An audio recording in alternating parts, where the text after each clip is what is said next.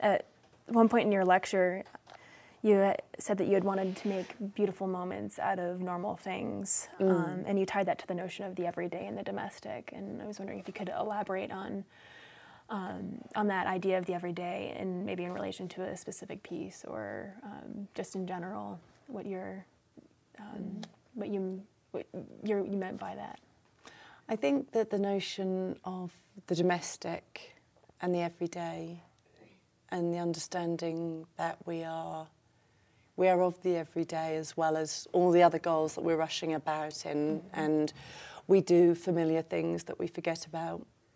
Or we have conversations mm. where somebody remembers the content and it didn't mean quite so much to the other person and they've moved on mm-hmm. with something else. It's a very fragile balance. And in a way, I think I started to discuss that with a work called Heirloom, which I didn't talk about, but that was uh, a kind of um, a ghost like interaction with the memory of objects that could be part of that heirloom, that kind of historic family connection. But I think where I am now with the domestic and the moment and understanding how important those things are is with the Wedgwood dust.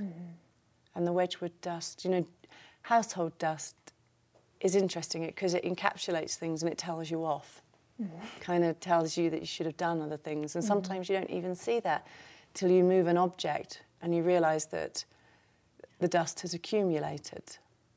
And in a way, the Wedgwood dust takes that activity over, over what is very mundane, mm-hmm. very, very normal activities, but it makes them special.